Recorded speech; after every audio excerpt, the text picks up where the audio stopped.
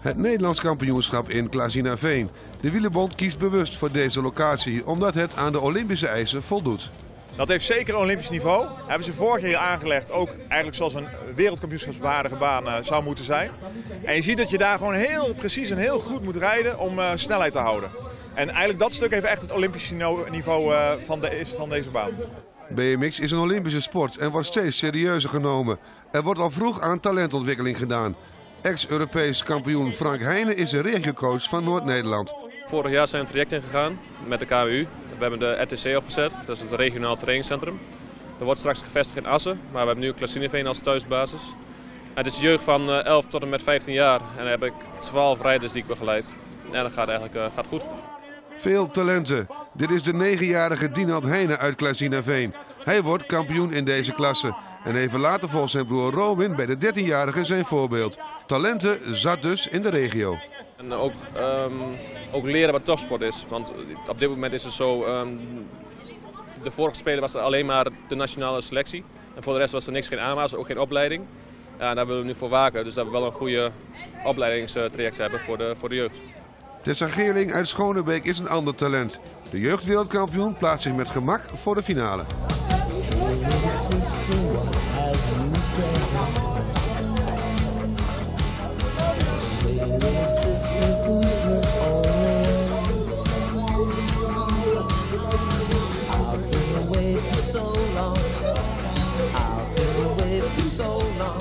Ook zij is blij met deze baan in de buurt. Ja, dat is hartstikke mooi. Daar kan je niet zoveel reistijd erheen en uh, hartstikke mooi sportcomplex hier. Ja. Haar broer Nick Geerling wordt na een spannende race kampioen bij de 15-16-jarigen.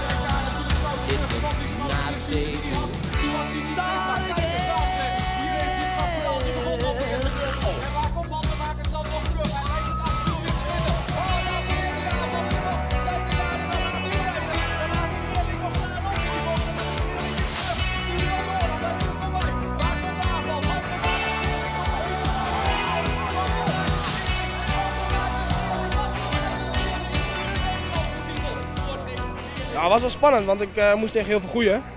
Maar uh, ik dacht gewoon uh, goed trappen. Ik had ook een hele goede start. was goed weg bij starthek. Ja, toen ging het allemaal vanzelf. Gewoon hard fietsen. Nou, het ging vanzelf. Het was dan een spannende strijd.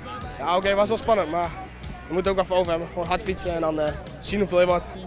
En dan weer naar Tessa, die het goede voorbeeld van haar broer volgt. En Nederlands kampioen wordt bij de 17-jarige.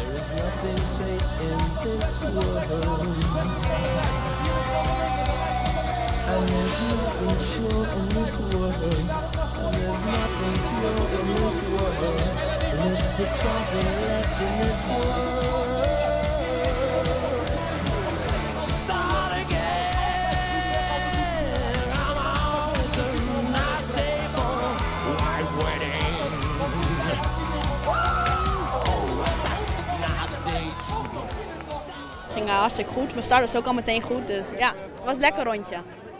En tenslotte de mannen elite met Martijn Scherpen uit Barger Oosterveld en Jordi van de Heide uit Assen. Beide heren kunnen geen potten breken en worden vijfde en zesde. Ivo van der Putten uit Boekel, hij weet te winnen. En dat is toch een verrassing bij die mannen elite. De zesde plek voor Scherpen betekent een fikse teleurstelling voor de Drents. Het is gewoon een Nederlandse titel, dat telt altijd. Dus is, het is wel echt iets waar ik voor getraind had. Ja, speciaal in de Klazineveen en uh, een paar keer hier naartoe geweest. En uh, ging ook super goed. Ik heb gisteren de time trial dan wel gewonnen. Ja. Dus ik was, ik was gewoon de snelste. Maar uh, door die klik, uh, kliks schoot ik uit kliktrappers en ja, dat was weg. En zo staat Klaasine Veen voor goed op de BMX-kalender.